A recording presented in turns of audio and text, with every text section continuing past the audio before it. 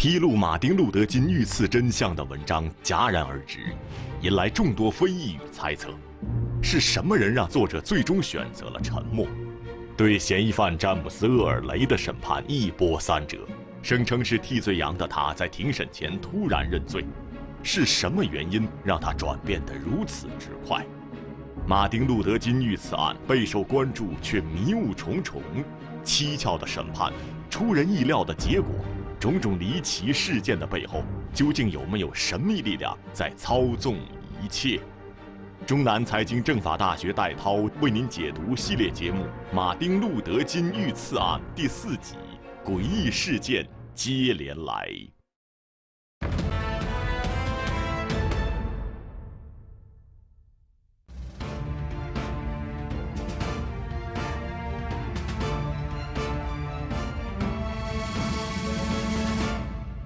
观众朋友们，大家好，欢迎收看法律讲堂。展望杂志刊登了所谓雷本人作案过程自述的文章，这是雷在监狱里边把自己作案的过程写成了手稿，传给了作者。作者威廉修一给了他四点七万美元。为了考证雷他所讲的是不是真的，威廉修一就按照雷作案前后曾经走过的行程，一路找人。找物，验证这个事儿，所以应当令人信服。可是，就在作为结论性的第三篇文章将要刊发的时候，这个报刊又刊发出来一个消息，说文章不再发表了，原因不得而知。正常情况下，像这样已经发了预告，而且千百万的读者翘首以待的文章，突然决定不再刊发。这在美国新闻史上是空前绝后的怪事情，毕竟前面的文章已经深深地吸引了读者，杂志的印数已经增加到了一百万份，第三篇文章看来还不知道印刷的数量要增加多少。对于这个经济状况不太景气的《展望》杂志而言，这种名利双收的机会应该是千载难逢的。于是。记者们纷纷迫切地去找这个作者威廉修一，他们想搞清楚这个连载文章夭折的原因。可是修一很长一段时间都不愿意接见记者，并拒绝回答记者的问题。终于到了最后，这个修一千呼万唤使出来，但是他的回答令人非常惊讶。修一说：“因为我已经得出了结论。”雷是单独作案，记者就不甘心了。您不是曾经十分令人信服的证实过相反的结论吗？是的，证实过，但后来改变了看法。那您是不是获得了补充性的材料呢？修一，他说，不是，纯粹是我改变了看法。但为什么呢？修一说。我到哪里都找不到神秘的劳尔，我从来没有找到过他，也没有见过他所接触的人。雷他也说不出一个认识劳尔的人。我得出的结论，劳尔他是编造的，所以我自己拒绝发表第三篇文章。修一的回答，着实让人困惑不解。就在不久前，他还说过自己花了几个月的时间。去核实各种材料，确定雷不是单独作案。可在短短时间里，他为什么全盘否定了自己？态度如此之大的转变，是不是另有隐情呢？这时候难免就会有人猜测，是不是某种力量迫使修一做出了这个与他之前背道而驰、截然相反的决定？那么真相到底是怎样的呢？这里边到底出现了什么问题？是雷在撒谎，还是作者修一受到了干扰？这一系列令人困惑的问题，让人们百思不得其解。尽管修一的第三篇文章没有发表，但是在编辑部看过这篇文章的人也至少有十几个。最后，有关这篇文章的内容的消息仍然是不胫而走。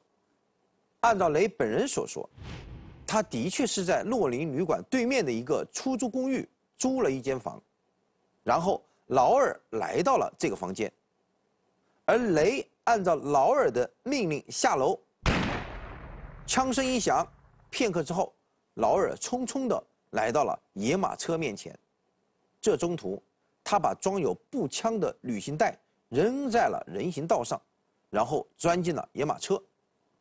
他进来之后。躺在后排座椅前边的地板上，连头带身子用垫子盖住，然后雷开着野马车向市区北方飞快地跑了。过了一会儿，雷在红绿灯停下来了，劳尔打开车门下了车，雷继续开车来到了亚特兰大，从那里雷坐飞机逃到了加拿大。接着又用劳尔事先提供的证件取得护照，飞往伦敦。然后劳尔应该来找他，付给他应得的一点二万美元。这就是雷所说的经历，而且这也完全可能已经得到了修伊的证实。虽然修伊的第三篇文章没有发表，但修伊在第二篇文章已经得出了一个结论：马丁·路德·金他的被害。是密谋，雷不是单独作案。作家修一的第三篇文章被人们传得沸沸扬扬，虽然被传出的第三篇煞有其事，但始终没有得到修一本人的肯定，所以这篇文章的真实性就打了折扣。人们也都在纷纷猜测雷到底是不是独自作案，那个和雷密谋的人。和让作家修一闭嘴的人，是不是同一个人？就在这猜测满天飞的情况下，雷谋杀马丁·路德·金的案件庭审马上就开始了。人们都盼着能在庭审中发现事件的真相。詹姆斯·厄尔雷被捕之后，美国联邦调查局断定他就是杀害马丁·路德·金的凶手。可在詹姆斯·厄尔雷透露给威廉·休伊的文章来看，刺杀事件是劳尔密谋，他只是配合劳尔作案。披露这一切的文章戛然而止，自然引来众多非议与猜测。那个神秘的劳尔是什么人？他和雷谁才是真正的凶手？人们希望在接下来的庭审中获知真相，可庭审的结果却让人大跌眼镜。那么，庭审过程中究竟发生了什么？中南财经政法大学戴涛继续为您解读系列节目《马丁·路德·金遇刺案》第四集：诡异事件接连来。开庭日期定在一九六八年十一月十二日，在孟菲斯，开庭的一切准备工作都已经做好了。这次开庭对安全工作非常重视，精心挑选了一千多名警察担任警卫。进入法院的每一个人都要经过这么几个过程。第一步，登记验明身份，必须出示你的证件，然后填写专门的登记调查表。第二步，照相、录像、取指纹，要给每一个人照相，而且十个指头的指纹全部都取下来，同时再用摄像机给他们摄像。第三步，搜查全身。警察命令每一个进来的人脱下鞋子，把鞋垫掏出来翻一遍，还敲一敲鞋后跟，把前夹打开看一看，连笔套都要拧下来检查一下。只有在做完这些事情之后，才批准你进入到这个审判大厅。这个审判大厅也不是很大，在审判厅里头，除了便衣，还安放了很多旋转的摄像头，镜头对着这些人，记录在场的每一个人的。动作，每天的搜身和一整套检查措施，对每一个人都要实行，连法官都不例外。所以说，防卫措施应当是天衣无缝的。所有工作都已准备妥当，备受关注的马丁·路德·金遇刺案的庭审就要开始了。这次庭审的时间预计至少在六周左右。不过，就在这起案件正式开庭之前的一天晚上。也就是一九六八年十一月十一日，事情发生了变化。什么变化呢？审判延期举行，这是为什么呢？因为雷宣布他决定更换辩护律师。孟菲斯司法当局他们的新闻发言人解释这个事，他说：“啊，这个决定是由雷他本人做出来的，没有任何人对他施加任何压力。但是这件事情确实显得不可思议。首先，雷的现任辩护律师海因斯从着手工作这个时候算起，几乎已经有半年时间了。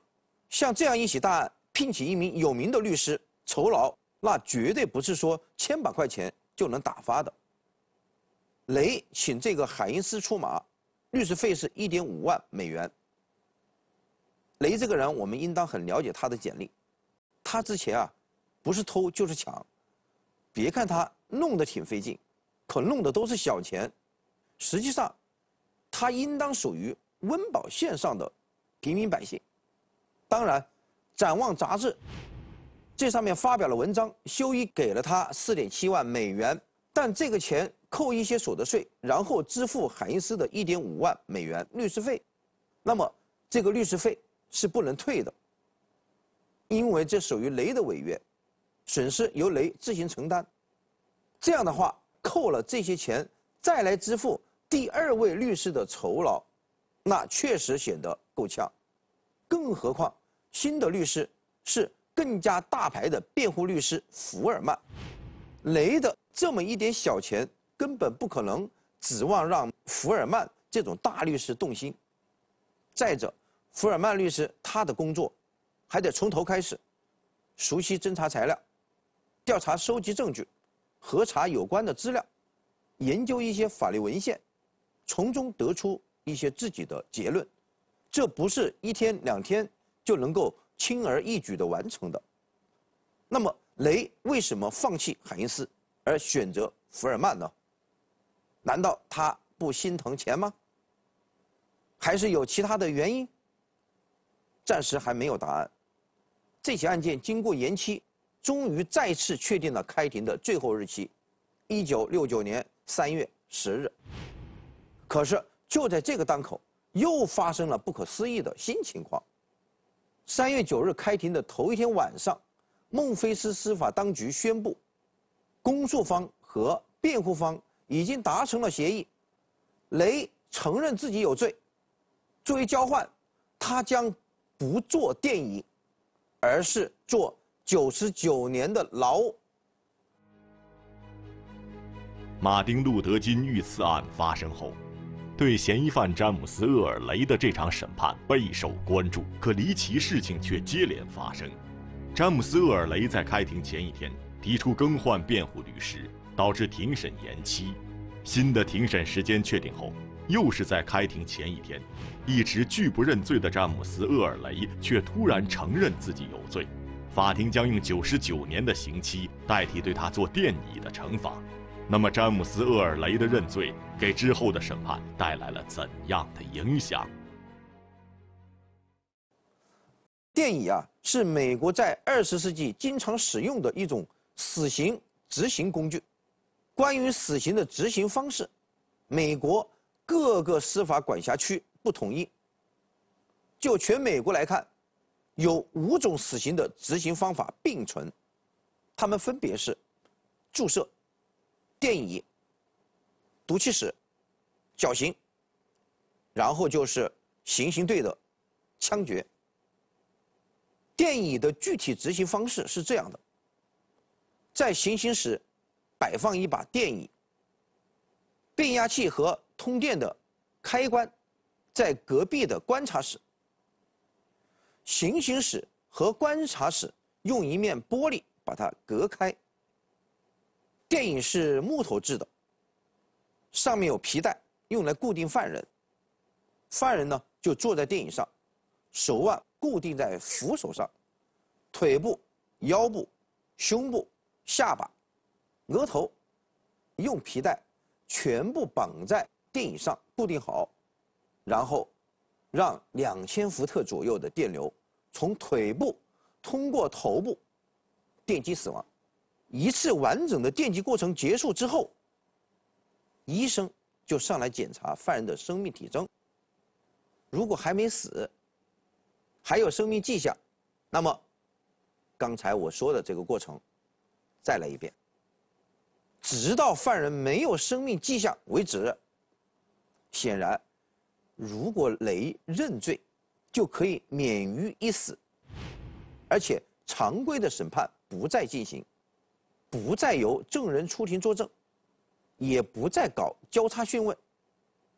讯问的过程只是由公诉人发一次言，援引被告在金博士被杀的案件中有罪的主要证据，再由辩护律师发一次言。表示赞成公诉人的论据，最后就宣告被告承认自己有罪，仅此而已。雷当庭认罪，而法庭也默契的用九十九年刑期代替做电椅。雷的这种保密行为可以理解，可他究竟是和谁达成了交易？詹姆斯·厄尔雷在更换律师之后，一改之前的态度。承认自己有罪，这个突如其来的变化让一直关注此案审判的人们感到十分震惊。更换律师和詹姆斯·厄尔雷的态度转变有没有关系？新换的律师福尔曼在此案中究竟起着怎样的作用？这场审判背后有没有什么不为人知的内幕？轰动一时的马丁·路德·金遇刺案，难道就要以这样一种疑点重重的方式收场吗？中南财经政法大学戴涛继续为您解读系列节目《马丁路德金遇刺案》第四集：诡异事件接连来。这种司法程序是没有问题的。我们国家的刑事诉讼法也有类似的规定，比如说认罪认罚从宽制度，这类案件可以简化程序，酌情从轻处罚。但是这里头有一个关键，那就是。被告人自愿认罪，那么雷是不是自愿认罪呢？审判从三月十号开始，四天结束，公诉人当着陪审团的面做了一个简短的发言。他说：“詹姆斯·俄尔雷无疑是有罪的，就像他无疑是单独作案，无疑不存在任何密谋一样，不利于被告的罪证。”已足以让他上电椅。但是由于被告采取了明智的行动，承认自己有罪，所以公诉方面同意用九十九年刑期代替做电椅。这就是公诉人发表的意见。那么雷的辩护律师是怎么表现的呢？辩护人在答辩的时候，先对公诉人恭维了几句，接下来。他并没有试图替被告辩护，而是竭力的让人们相信，雷是单独作案。而作为司法中立的法官，他最后高度赞扬了公诉人，高度赞扬了辩护人。接着说，既然被告明智的选择了承认自己有罪，使法庭免于纠缠许多事务，那么。这起案件就不必审理了，一切都已清清楚楚。法官说，在这种情况下，田纳西州的法律允许不必再听取任何案情，就可以重新判处最当死刑的被告不判死刑。按照公诉方面和辩护方面一致同意的惩治办法，判九十九年刑期。雷是什么态度呢？雷这个时候。无精打采地坐在被告席上，茫茫然转动着脑袋。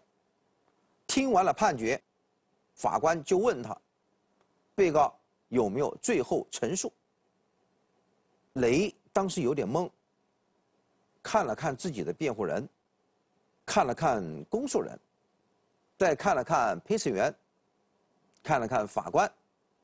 他说：“是的，我想纠正一件事。”公诉人、法官、辩护人都非常好奇，非常惊讶地望着他，看他想说什么，是不是想反悔？雷，他也看出来这些人不放心，连忙说：“我不想对自己已经说过的话做什么改变，但我想补充一件事，我承认自己有罪，但我不同意没有密谋的说法。法官这个时候赶紧决定刹车，这个已经没有意义了。主要的是，你已经承认有罪了，我再问你一次，你是否同意承认有罪，并以服刑九十九年代替坐电椅？这个时候的雷显得非常无助，也非常可怜，他所看到的都是不带任何表情的面孔，没有任何人愿意救他。对于控辩双方事前商量好的判决结果，一边是坏，一边是最坏，他只能选择坏。这就是著名的黑人民权运动领袖马丁·路德·金暗杀案件的开庭审判过程。这个消息轰动了全美国，这个结果让美国人民大为吃惊。一切居然如此简单，是谁指使雷？从拒不认罪到承认自己是凶手，这当中有什么内幕？大报小报的记者，他们团团的围住了孟菲斯法院大楼。法院不让记者进去，但是也没有人走出大楼，因为雷还被关在楼里边。记者们很生气，大家一起商量好了，决定就在这个门口守着，守住所有的出口，要把雷堵住。要问个究竟，问个明白。但是他们还是受到了蒙骗，在夜晚一点钟的时候，雷被他们化妆成副州长，化妆成副州长的模样，从这些记者眼皮底下溜出去了。所以，所谓的无冕之王，也没有办法解开不公开审判雷的真相和雷自愿认罪的背景。一场离奇的审判终于结束了，雷是为了保命才承认了，是其单独杀害了马丁·路德·金。这个结果固然让人意外，可让人们感到更为蹊跷的是，雷为什么会如此迅速的转变态度？判决之快也令人咋舌，人们似乎感觉到有一股看不见的力量参与其中。那么谁才有这个力量？放眼全国，有着这样力量的人或者团体，屈指可数。就在人们还在思考这一系列问题的时候，认罪保命的雷在狱中又有了新的情况。雷在被送进监狱后，没过几个小时，他就向监狱里提出来。希望得到新的辩护律师。他说自己是无辜的，是在被人逼迫、诱骗的情况下认的罪。如果我不承认有罪，我就得上电椅，那就没命了。而且我的辩护律师花了六个星期对我做工作，要我认罪。我所能做的，那就只好认罪了，不然我就没命了。因此。他向田纳西州的司法部提出申请，他请求法庭重新审理他的案件，但是被拒绝了。雷他虽然不停地坚持这个要求，坚持要重审这些案件，但是当局根本就没有理会他。整个案件从头到尾都充满了疑点，法庭的最后结论，除了政府和联邦调查局之外，没有多少人信服。在这起案件宣判结束之后，人们众说纷纭。辩护律师福尔曼，他的解释是：凶手是为了出名而杀害了金博士。这个没有多少人赞同，更多的人倾向于认为，雷，他是一名种族主义者。如果雷是真凶，或许种族主义就是雷枪杀。金的一个合理动因。后期被披露的一些材料表明，如果存在一种阴谋，那一定有种族主义的阴影在这里晃动。不管雷是不是真正的凶手，枪杀行为不会是个人行为，应当是一个组织在幕后操纵。那么，究竟是一个什么样的组织呢？在马丁·路德·金遇害后的最初几年，各种传言不绝于耳。有人说是三 K 党杀害了金，也有人说是黑手党杀害了金，甚至在美国国内流传着这样一种说法：是联邦调查局的局长胡佛亲自下令杀害了金。首先，胡佛一直视金为。眼中钉、肉中刺。其次，放眼全国，究竟哪个组织有如此能力，设计出如此巧妙的刺杀，而且找好了替罪羊，最后控制了审判？所以，胡佛和他的联邦调查局进入到了人们的视野中。究竟那支看不见的神秘力量，到底是不是胡佛和联邦调查局？马丁·路德·金遇刺的真相又该怎样揭开呢？请大家接着收看下一讲。好，感谢您收看今天的法律讲堂，也欢迎您关注栏目服务号，一同探讨历史、品读文化、解析法律疑点难点。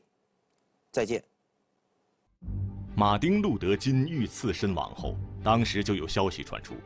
是联邦调查局局长胡佛下令杀害了马丁·路德·金，这个消息是真是假？胡佛与这位民权运动领袖之间究竟有何恩怨？马丁·路德·金遇刺案第五集《刺杀谜团》下期播出。